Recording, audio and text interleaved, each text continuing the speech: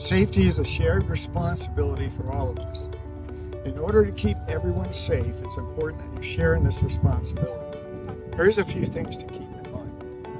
PFDs, clipped, zipped, fitted at all times.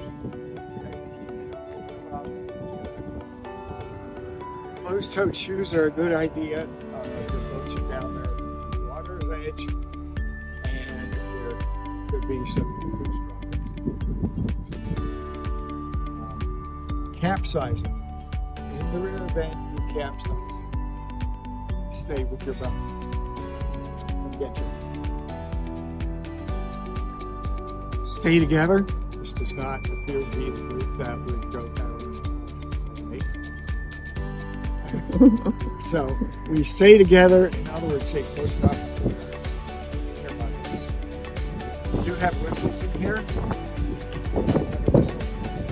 And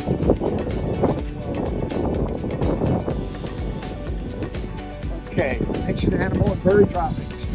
Droppings. Sometimes people's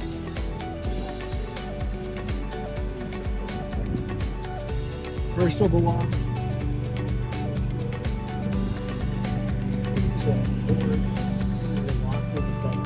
Things that you don't want to do. Ticks. Pennsylvania. Ticks. And probably a good idea for you to check yourself afterwards. When we walk down to the launch, there can be some rough spots. There's about a one foot drop there on the beach we have.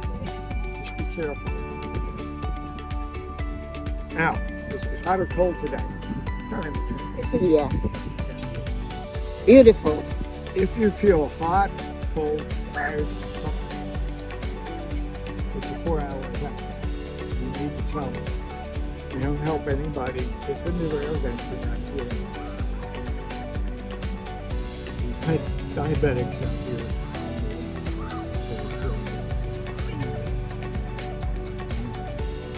So, hypothermia, dehydration's harmful. Everybody's water. hmm Everybody's got their suntan lotion or hat or sunglasses. Medical concerns. Briefly mention that. If you have an EpiPen or inhaler or any other medical issue, just tell me why. It goes here and it goes nowhere. Okay?